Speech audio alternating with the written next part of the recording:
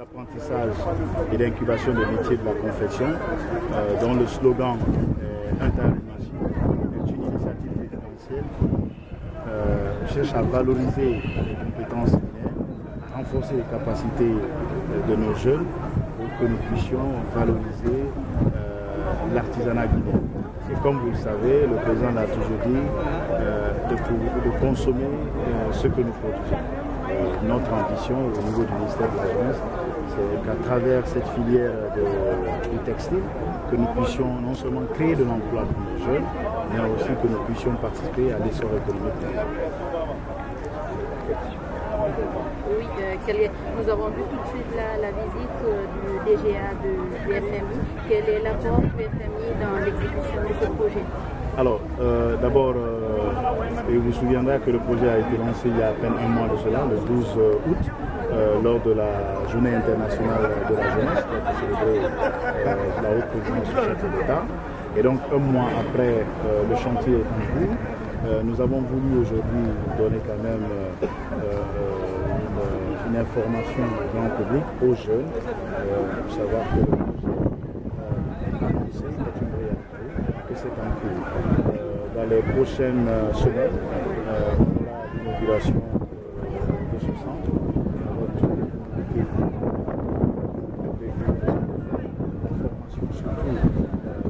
le renforcement des capacités de ces jeunes et, fine, euh, le partenariat qui va naître avec une institution financière de la place où nous mettrons à disposition euh, avec un fonds revolving euh, des, machines aux jeunes pour leur permettre justement d'être des entrepreneurs aussi dans le métier de la confection.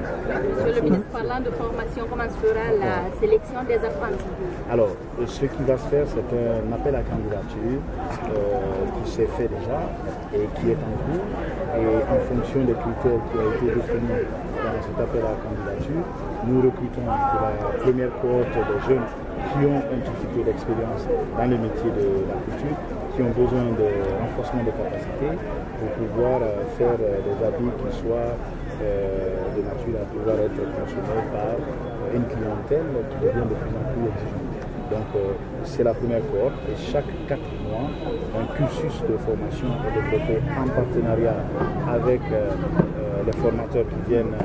du Sénégal, mais aussi nos couturiers, le groupement le groupement des stylistes et modélistes de Guinée, avec lesquels il y a déjà des formateurs qui sont présents. Cet échange,